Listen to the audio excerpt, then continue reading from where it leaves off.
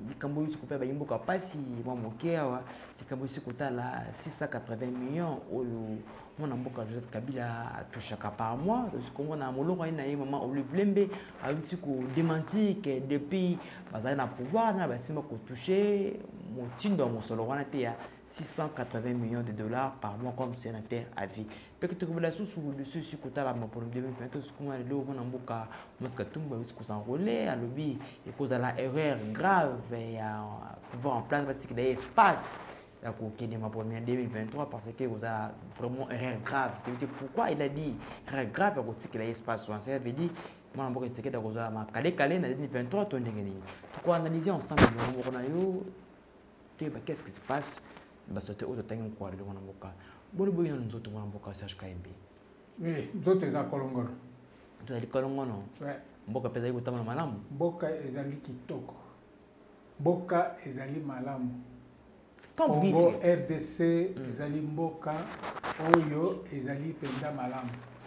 mpo na nini congo rdc felix antoine tshisekedi tshilombo akutaki yango ndenge nakutaki koloba yango mm, mikolo mileki ke akutaki yango na kati ya morte lelo oyo congo rdc ezali na soin intensif kala mingi te ekotelema soki etelemi aucun pays d'afrique voire même du monde ekoningisa yango mais comme vous dites que tikisekedi azwaki mboka na, na lambo na se ya mai na libulu tout ça mais kabila quand même eh, atikali ah, ko ah, valoriser mpe mwa bayimboka mwa moke komona ke na gestion na ye mwa makambo efongamaki mwa mike mike tosi komona mais quand vous dites ke eh, loka atikaki mboka na lambo est ce que azwi mboka loka ne kabila nde kabila azwaka mboka pa le paix oyo oh, ke bosotan na kete lisi ezalaka te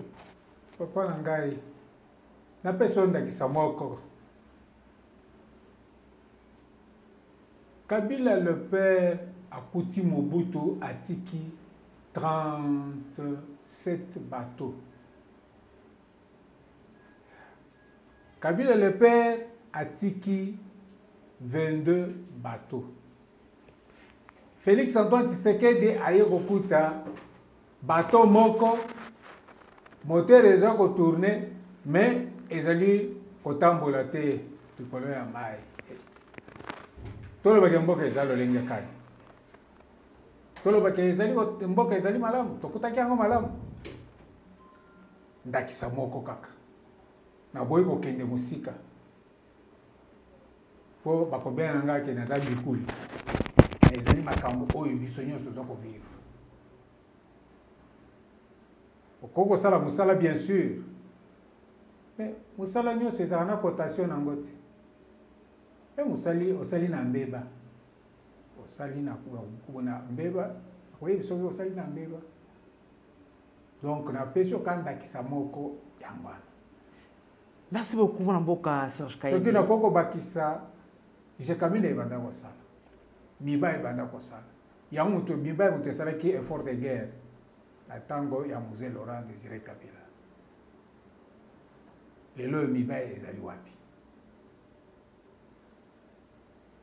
SNCZ ezali wapi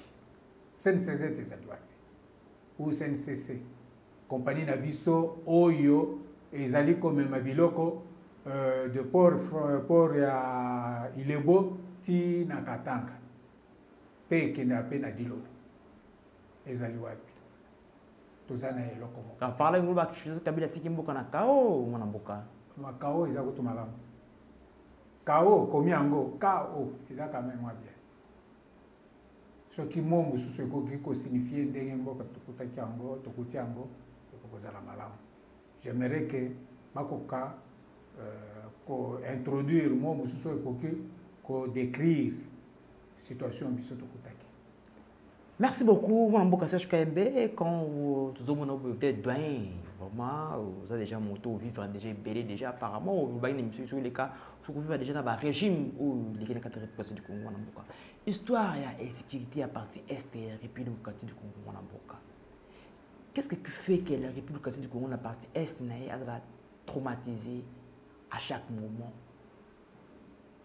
nyongo yango todie fo ezalaka ya nani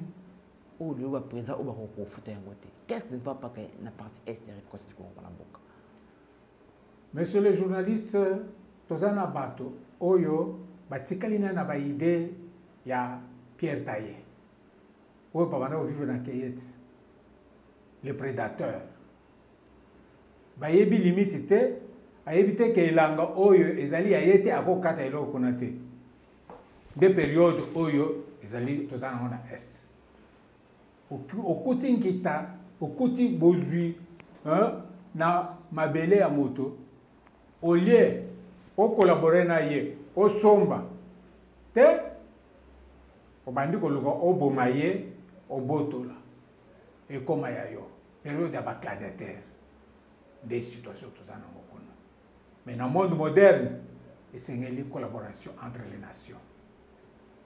nakanisi ke nde eloko toza kolite na yango nakanisi sa ya congolais ezali sans ya violence te un congolais est incapable de tuer même une mouche alors balingi koekilkia biso mentalité ya koboma moto mpo na kozwa biloko nzambe asala nzambe asali de façon que mabele na mabele mabele ya mboka na mboka ezala na nkita na yango na bozwi na yango la petite suisse aviaka mboka moko te suisse aza na eloko moko te na se ya mabele na ye avivaka ndenge nini n'a jamais envié kozwa mabele ya mboka mosusu qui a envie la réplication de Roma na mboka mais nos voisins ba voisins na biso bato oyo tosalisi bango toza kovivre malamu je pense que na periode ya grégoire kaibanda makambo ezalaki te na periode ya juvenal euh, abiarimana makambo ezalaki te makambo oyo ekobima kaka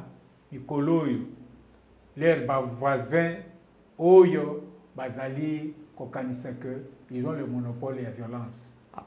violence appelle violence violence ezali malamu kobanda yango okoyeba mokolo oyo obandi e mokolo oyo okosuka mokolo yango ekosuka ekodependre lisusu na yo te toevite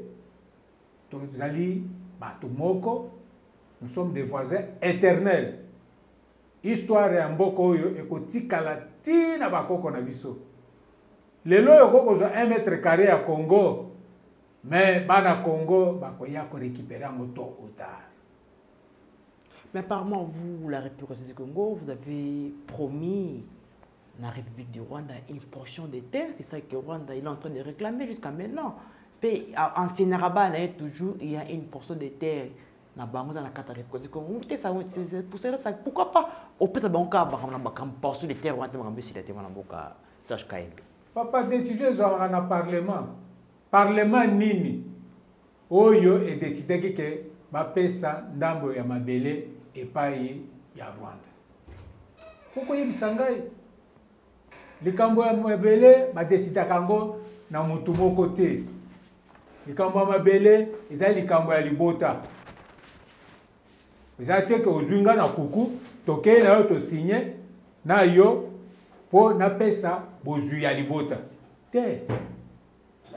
ezali bongo te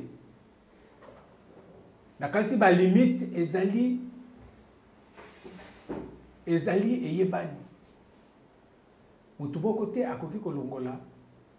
ndambo ya mabele mpo apesa motu tout comme ndenge ozali wana ndenge nzambe asali yo soki nalingi kozwa loboko na yo esengeli desizio malamu eyebi yo motu kodeside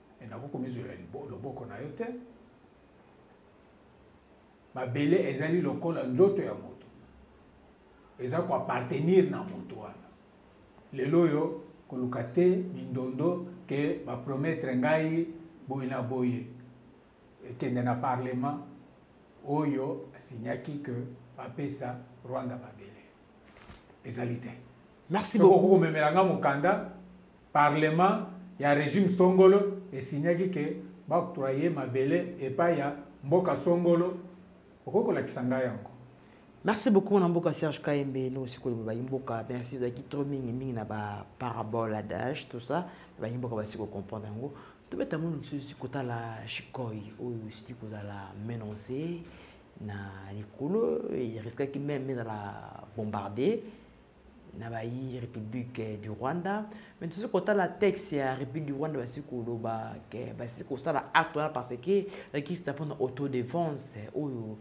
bayi fardc bayi koprovoke bango mwana mboka comment on peut analyser cette euh, déclaration da yi gouvernement rwandais mwana mboka ezali faux fuyant azali kocontinue na kocommettre ba acte ya barbarie Ça, c'est la pire barbarie. Une nation barbare. sikoyo soki etambolaki na mboka na ye pourquoi atire yango na espace aérien na ye te sikola ezalaki tire na espace aérien ya république consul congo te ya rwanda te ya rwanda te na atterrissage na aéroport na biso na atterrissage na aéroport na biso donc kana kana tomona bilili oyo avion ezokokita nde na ezokokita na aéroport moyibi aye ayibi na ndako na yo okangi ye te okei na nzela oke kokanga ye bakosenga bapa elilingi na ye neti ye moto azalaki na ndako na ngai esengeli batalaka na yo malamu soki okokende na centre neuropsychopathologique ekoki kozala mwa malamu parce que ozali koderaisonne temps ya bagladiatere esila temps ya barbarie esila masolo sikoyo ekomi na monoko ndenge ezali diplomatie négociation dialogue soki nzela wana ezali te nzela ya bitumba bitumba totekela yango banyama parce qu'ils n'ont pas un autre, un autre moyen de s'exprimer n'ont pas un autre moyen de s'exprimer n'ont pas une autre façon de faire les choses sauf de se bagarrer me moto oyo nzambe akende na lolenge na ye esengeli asolola ndenge félix antoine tshisekedi tshilombo abengaki baninga na ye ya 9 frontière oyo baza koentoure biso abengi bango ayebi ke naza na bozwi mingi epai na ngai nakanisi ke lia mosusu bokoki kozala na mposa na yango me tosala bamesure tosala euh,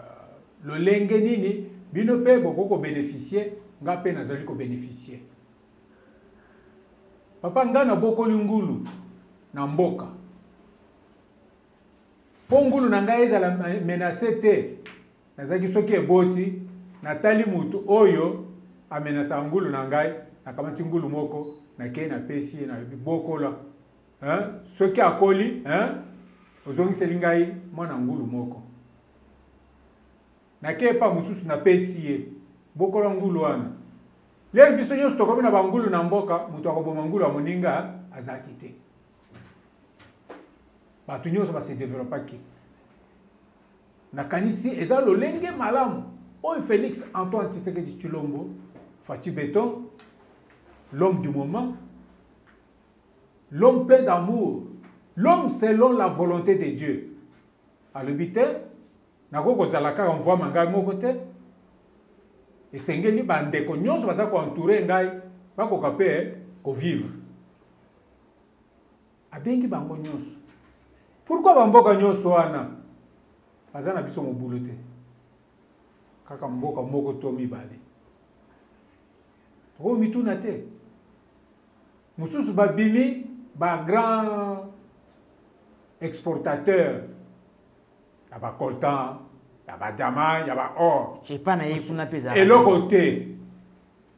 ake kozwa ti nyongo ya monene bake kotongele izine ya kabakata ya izine aza na mbongo ya kozongisela bato wana te donc yo okende kozwa nyongo mpo na biloko oyo ozo koyiba epa voisin mais imirati imirati il est en train de réclamer son argent vers rwanda papa basombelaka liboka ya moto kwanga te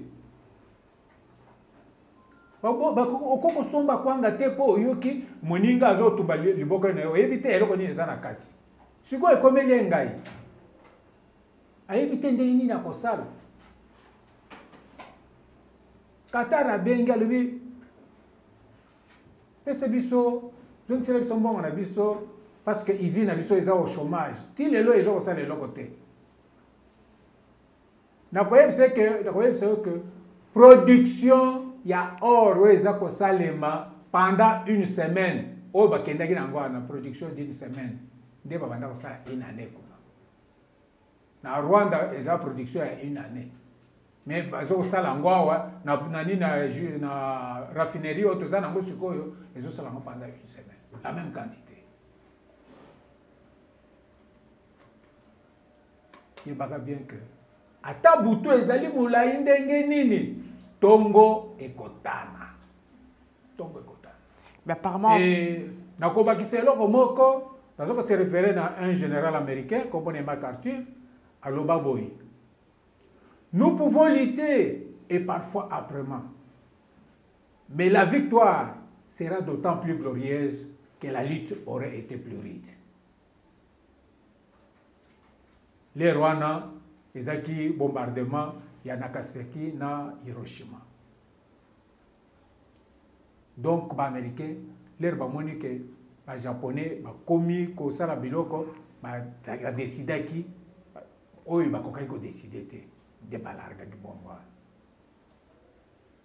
nde ba voisin na biso baza ko pousser biso tozwa decision ya marque wana mais tellement que tondi boboto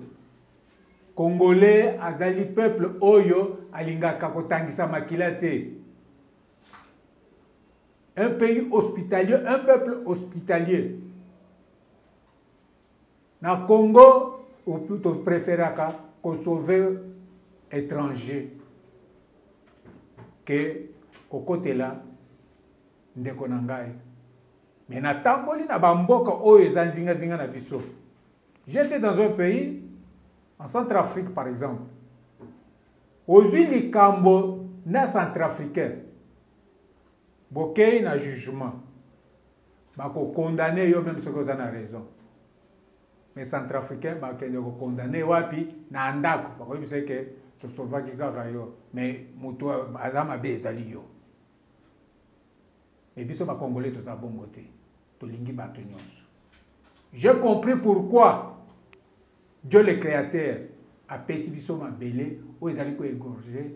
baekoregorge ba kita ya mokili mobimba oyo baza kobenga scandale géologique donc nzambe akamati kita atie na se ya mabele akamati motu oyo azali na motema lolenge na ye nzambe ya bonzambe atie likolo na yango peuple congolais tozali nazopesa lokumu na nkolo mboka nazopesa lokumu na nzambe oyo akelaki mpe akelaki ngai congolais parce que alongola ngai sense nyonso ya kosimbaka makila pamba pamba merci beaucoup mwana mboka serge kayembe ndenge osi koexorte bayimboka na nzela ya analyse nosi kosala par rapport ya république démocratie du congo apparemment république aza na mposa ya kimia aza na mposa ya bitumba te chacun a respecte ba espace na ye balimete na ye absolument papa absolument merci beaucoup mwana mboka serge kayembe tobeta mpe lisusu kotala sénateur avi joseph kabila oyo molongo ayi na ye asili kosala sortie médiatique na occasion ya échange de vie ya hôpital na ye initiative plus oyo asili koloba bayimboka bayimboka bayebaka ke joseph kabila touchaka 680 millions par mois mais toyei kokamwa verité esiko obima ke asikala kotouche mosolo wana ata mokolo moko te mwasi na ye mpe azoki koloba ngo mwana mboka usage kayembe pourquoi gouvernement tisekedi kokosa bayi mboka na modele mpona mpona nini eh, merci soki kokosa na kondima te ke ezali kokosa nakanisi ke mama azali na droit ya koloba makambo ndenge ye amoneli me tokotuna ça fait 4 ans oyo biso toyoki makambo wana ke bakula yango meme sous forme ya loi eza likambo ebandi lelo te kaka tokomi tokei na 4e na 5e année ya mandat oyo euh, esuccédé esuccédé président euh, honoraire, donc président honoraire Joseph, Joseph Kabila Kabange sénateur à vie nde tobandi koyoka badementi me makambo oyo oyokaki yango tozali awa na mboka toyokaka yango mikolo nyonso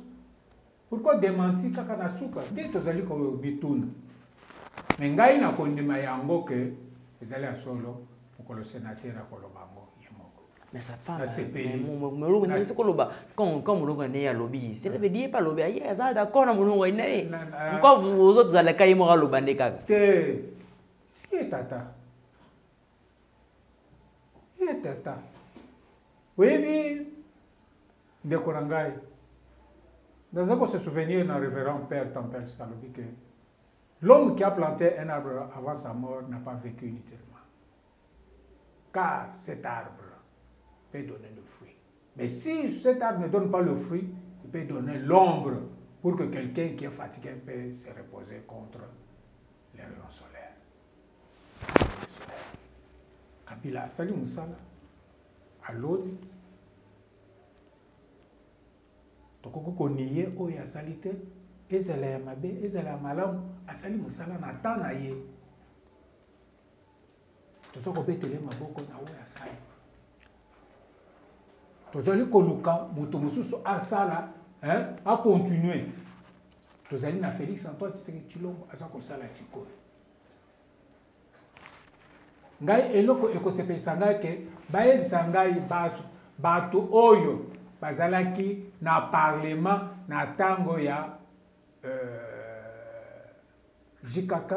bayebisa biso ke loi wana ezali ya lokuta evotamaki na parlema te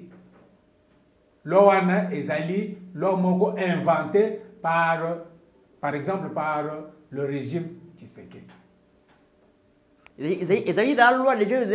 evotamaka déjà na parlement assemblée nationale président honoraire nyonso donc soki olongwe meme tshisekedi soki ye alongwe akoya kotouche mpe kaka monta wana soki babolira yango te soki babolira yango te donc akotouche kaka montant wana mais comment mama olive mpe eza mobeko alors bayebisa biso parce que ezali toza koanalyse te papa oui, papa. Ah, toza koanalyse bayebisa biso ke loi wana toyokaki ezali loi ya lokuta mais soki ezalaki mpe loi ya lokuta mpo na nini kala wana message kayembe attention message kayembe parce que obi ezali loi evotamaki na kati ya parlement comment se fait-il que ministre finance euh, mwana mboka euh, nicolas kazadi affaire à réduire salaire ya sénateur à vie soit disant non 6 000 quelques 12 000 je ne sais pas amais a réduit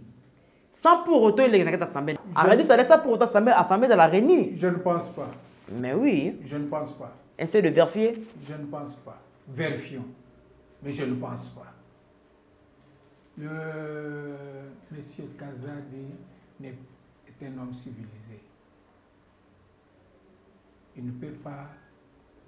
faire quelque chose hein, sans passer à ceux qui détiennent le pouvoir de faire quelque chose. Le gouvernement propose l'Assemblée, l'Assemblée vote. Et en tant que ministre de, des Finances, à cause de la Decision euti na Assemblée nationale, na parlement na biso. Mpo na nini babandaki kosala koyeba salaire ya moto na moto eyebana baye mboka oyo ya ya opposition basengaki ke bayeba salaire ya moto na moto makasika eleki na assemblée nde yango sikoyo peter nani nicolas kazadi alobeli yango alobi ke tel akozwa boye tel akozwa boye ezalaki mpona kodetermine euh, salaire ya président de la république en fonction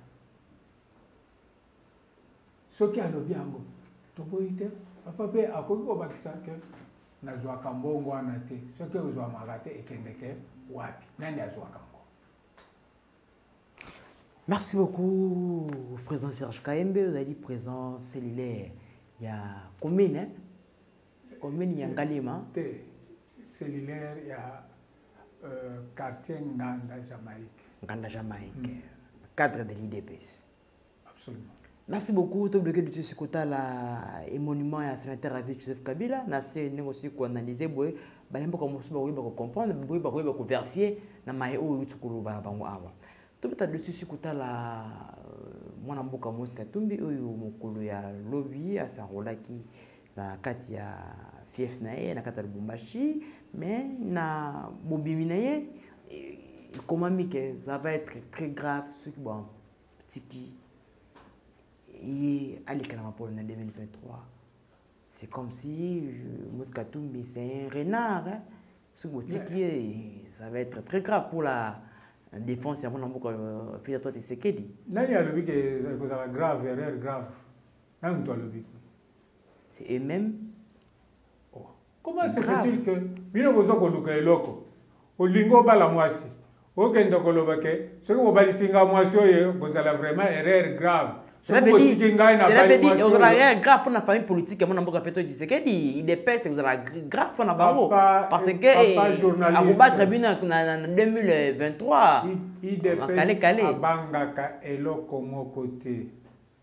nakanisi que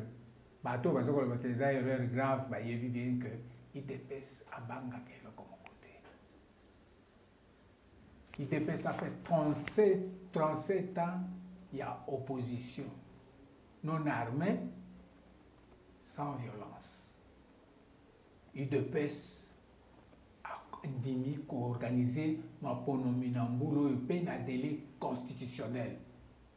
idps ekobanga motu moko te soki aza kokota ye aye ko ko kosala politique contre idps ou bien azosala politique mpo na kosalisa baye mboka soki akosala politike mpo na baye mboka bato ya idps baza nani baza banani baza bayi mboka bakobeneficie na resite na ye wana biso tozobanga eloko moko te tovivre na mobutu nyonso alingaki kosala asalaki ya mabe na ya malamu tosupportaki toye na musee na ya mabe na malamu tosupporte toye epai ya JKK. Nakanisi ke na ya, be, na, ya mabe na ya malamu tosupporte. Bongo tokenda kobanga hein? o mabe na malamu epai ya Moïse. Tokobanga te. Eloko toza koluka ke moto aya na idee ya kobongisa mboka.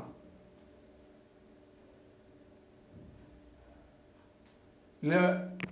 udps ezali un parti oyo ezali koto, kotombola bomoto ya moto yo koya na politiki te comme oza kodefie bato te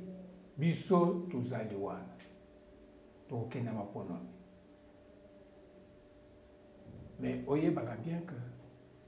Cette fois ci tokotika makambo ya infiltration te. Infiltration, qu'est-ce que cela veut dire? Ah, tokotika yango te. Tokotika yango te, peuple congolais bafongoli miso. Mais quand, quand vous dites qu'infiltration bokotika yango te, qu'est-ce ouais. que cela veut dire? Il faut que classe bayimboka ba comprendre. Pourquoi bien? Te bayebi. Infiltration bokotika. Bayebi déjà, bayebi.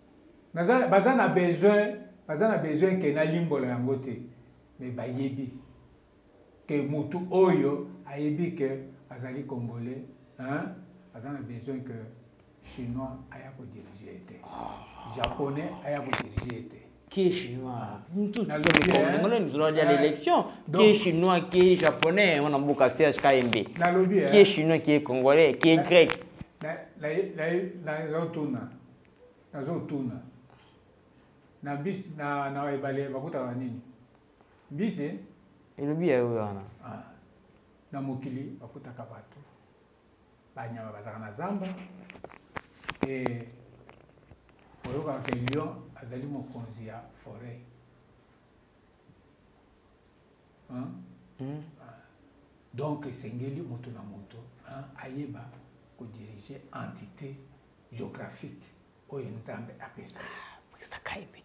panzaka nteke te bana mboka kango odi ke biso toteyi dokima ponomi katumbi congolais ebemba congolais bati matata esi fayulu oui c'est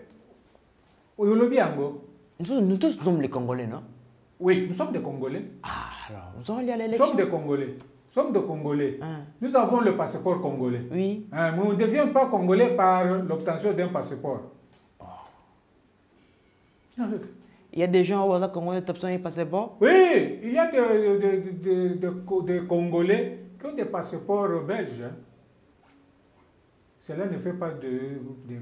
Belges. Ils ne peuvent pas briquer le mandat euh, suprême, donc euh, le commandement suprême, ni dans l'armée, ni à la police. Mais quand nakanisi même nzambe ayebi likambo wana qui bana ya Israël que Bokopona moko na kati na bino, ndeko na bino, po permettre te que mopaya aya ko diriger bino. Nakanisi ezali liloba ya Nzambe. Dans le père et les mères, euh, c'est important. Papa, loyauté. Est-ce que vous, vous êtes le père et les mères? Je le suis.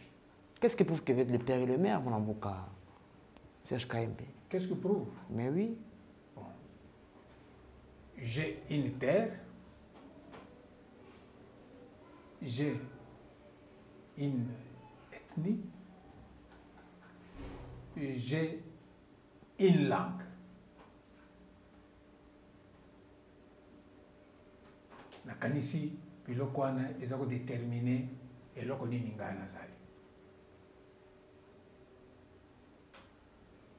natangeli yo mabele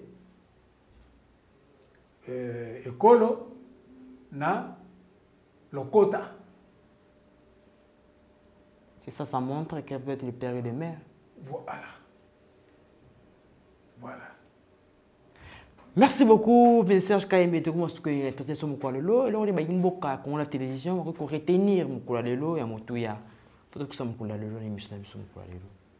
Bayemboka, nazali koyebisa bino que mboka ezali kotambola malamu mpe ebandi kokende na lolenge ya malamu nakanisi ke bokoyoka mikolo nyonso bandeko bazali koyebisa bino ke baza koloba babiloko baza koloba ke félix antoine tshisekedi tshilombo a échoué effectivement nakanisi ke nabanda komitungisa mpo na likambo wana naye komona ke effectivement baza na raison a échoué na le sens ke tobandaki kosatendre ke akotikela biso lere akokuta fosse euh, commune moko neti ya maloko ye akobakisela biso ata 5 aechoue pendant 4 ans abakisi fosse commune te ata moko te tisekedi tisekedi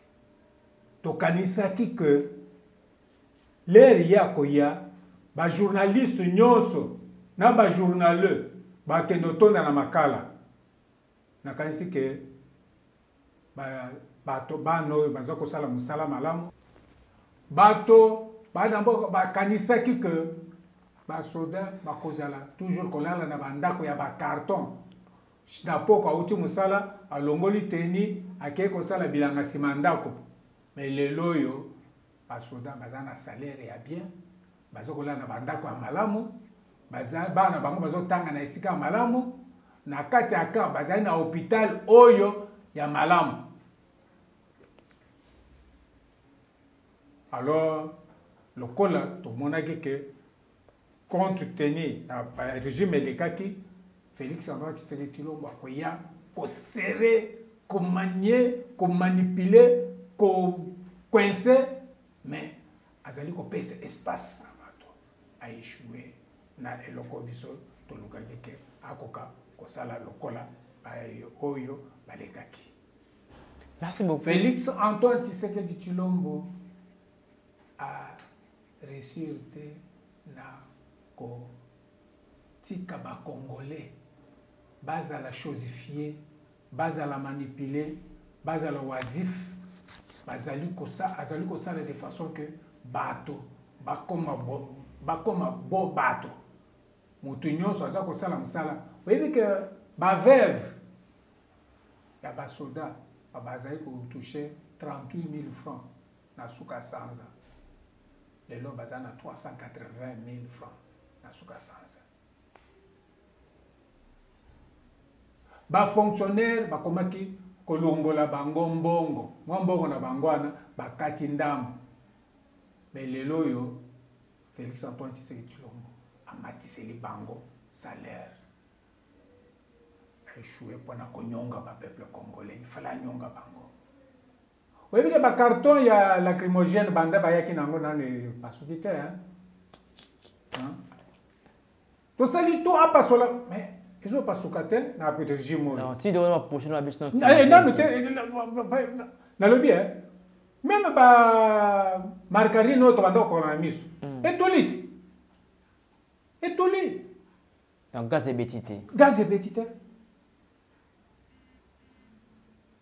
ndeko journaliste nakanisi ke nakosenga na baye mboka bakoki kosala de façon ke mboka ekende liboso tobakisa moko likolo ya oyo felix antoine tshisekedi tshilombo asali nous, nous sommes en train d'espérer deuxième mandat chez Fiato Tshisekedi. C'est Un mandat qui ne peut pas manquer. C'est un mandat qui vient d'une façon visible. Mais eloko ngai nazosenga bayemboka basenrole oyebisi ngai ke moïse katumbi asenrole mm. asali eloko ya malamu parce que bamilita na ye bakokende mpe kosenrole parce que karte oyo toza na yango sikoyo oyo ndeko nanga atikeli biso lere euh, enrôlement esili yango mpe esili valeur okende kozwa mbongo na banke ndenge nini obongo oyo oyo de soki otikali na yango osanrole te soki ochange te soki otikali na oyo ya nanga osanrole te okende kozwa mbongo na banke ndenge nini okende bayi pprd basi kobebamitala bo bakende kosanrole eh? pardon bayi pprd baboyi baboyi ezali droit na bango toza na démocratie toza na démocratie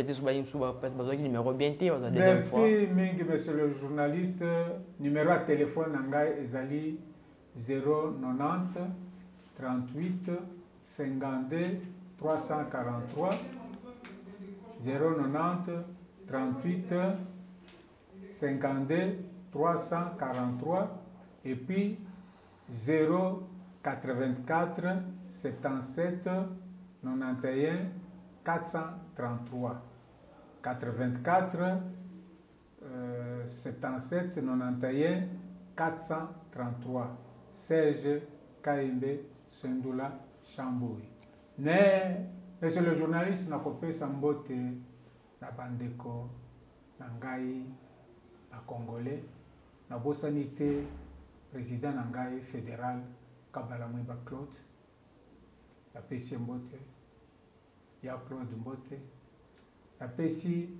president sectionnaire na ngai Kadima Kabongo Justin Moïse ya Papi Mbote. Napesi ba vice president cellulaire na ngai nyonso nakanisi na jean joseph joseph mukendi mukendi nakanisi euh,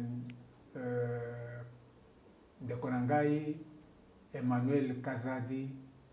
ngoi nakanisi